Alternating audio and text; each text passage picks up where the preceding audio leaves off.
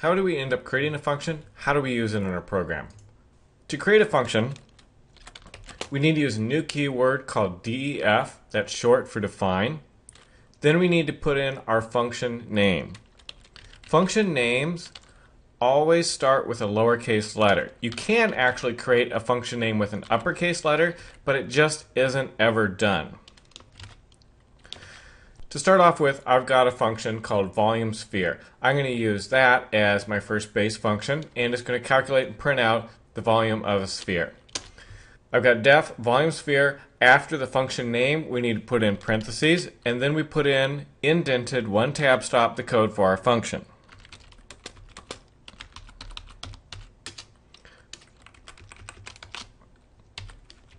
I'm going to create the variable pi. I'm going to set volume equal to 4 times pi times um, our radius of, let's say, 3, and raise that to the power of 2.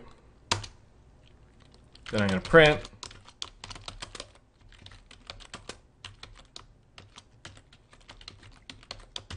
the volume. By itself, this actually doesn't do anything. If I run this program, hit F5, run it, and nothing happens at all. Defining a function is like telling the computer, if I tell you how to figure out the volume of a sphere, do this. But without calling the function, you're telling the computer how to do it. You're not telling the computer to actually do it. To actually call the function, you need volume sphere and then open close parentheses.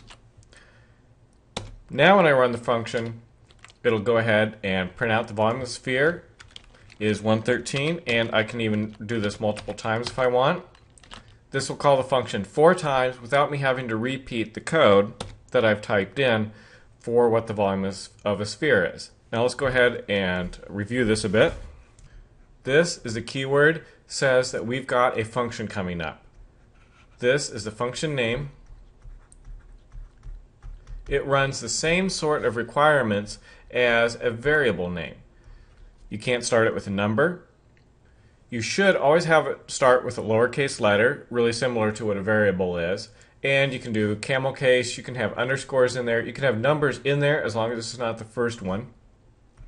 You must have parentheses. Whoa, I'm kind of messed up there. Must have parentheses. And a colon after that. We'll figure out what goes in the parentheses here in just a little bit. All the code, one tab in. As soon as you untab stop it, you are out of that function and anytime that you tab back in, you're not going to be back into that function. So all the code that goes in the function should be tabbed one tab stop in or more to tell the computer that we're inside of this function. Furthermore, all functions should be at the top of your program. Imports, if you've got an import, that should be even higher than that. And then your code for your main program should go after that. So don't do code and then a function down here. Uh, that's no good. Do all your functions up at the top. The computer will let you define a function down below, but it's really bad form and practice to do that. Great, we've got a function that will calculate the volume of a sphere, but it's not really all that useful. What we would really like is the ability to calculate the volume of a sphere of any radius. And we can do that by putting in what's called a parameter. This is a new variable that I've just created right here. I've called it radius. I call this just is any variable name and corresponds to all those rules that's common for me to have with a variable name. And I'm going to replace this 3 with radius and I'm going to say the volume, fancy this up a bit,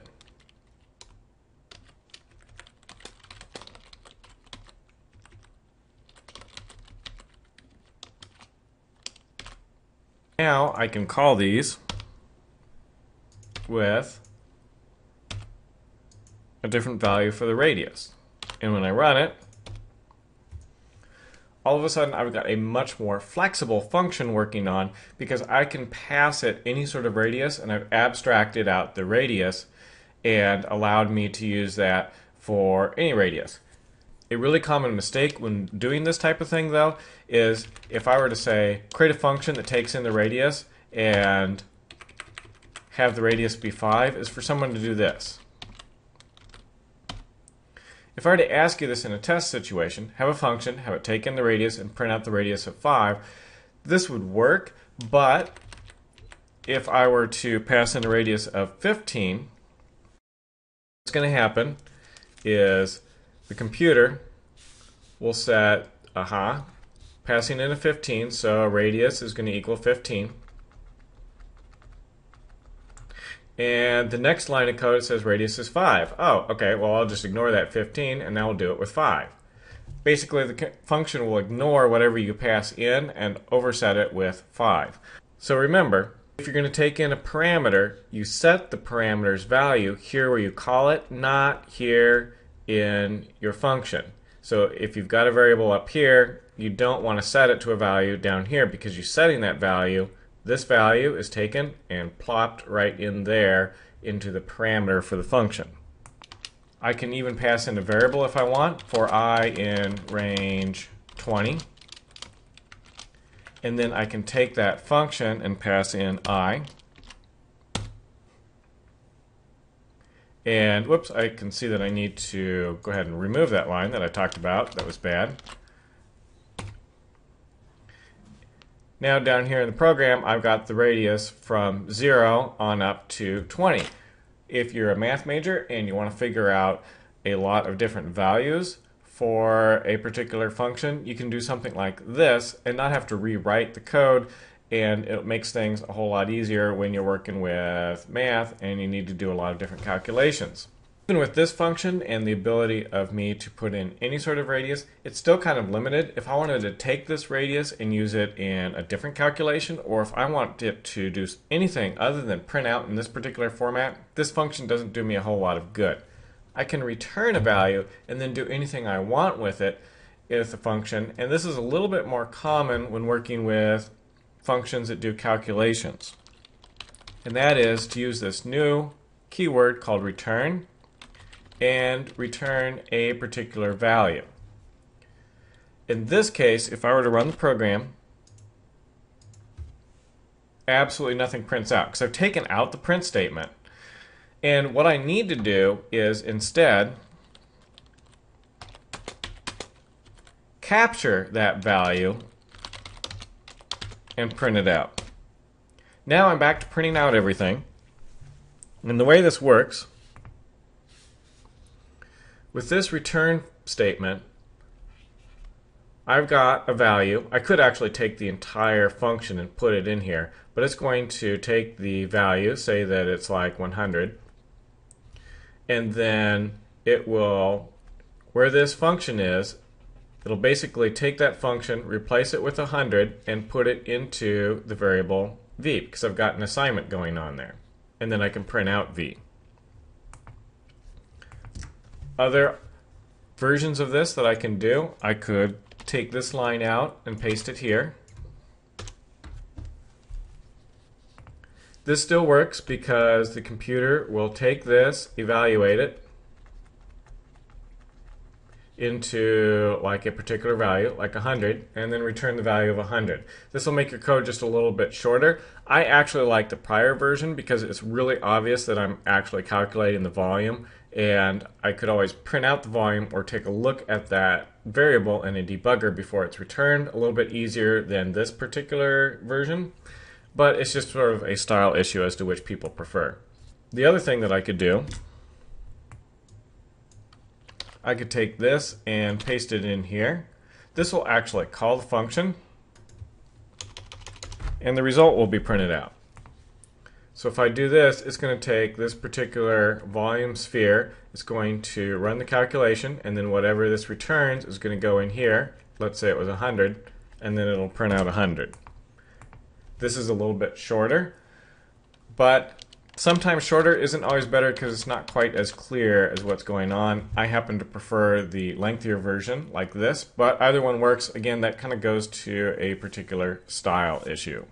Now, if you are not going to calculate the volume of a sphere, but instead you are going to do the volume of a cylinder, you have two parameters. And you, you can take in two parameters from a function by using the comma. In this case, I've got the volume of a cylinder with radius and height, and that particular formula is going to look like the following. The volume is going to equal 2 times pi times the radius times the radius plus the height, and I'll return the volume. And instead of calling volume sphere, I'll call volume cylinder. And let's call it with a height of 5. This gives you an example of being able to show how you can enter two parameters. Note that the parameters are order based, so I will go in for the radius, 5 will go in for the height. You have to have two parameters. You can't call volume cylinder with only I. That would not work. You can't call volume cylinder with three parameters or zero parameters. The computer will give you an error if you try. And as much as we might like, just the way things work, volume, when you return, you can only return one value. This value will go into the variable right here. I could return a list if I wanted, but I can't do volume and then comma some other variable like x. That wouldn't work. Since you're taking the result and you're putting it into a variable, it expects only one particular value to be returned, and you don't have that limitation with what goes in, but you do with what comes out. But the neat thing about using a return value for a function is I can continue to do other math on it, like for instance in this case, I could take volume cylinder and the result of this function and take it times 6. If I wanted to get, for instance, the volume of a six-pack or do some other calculation with the results of that function, it's a lot more flexible if I just return the value and then let the program decide what it wants to do with that value.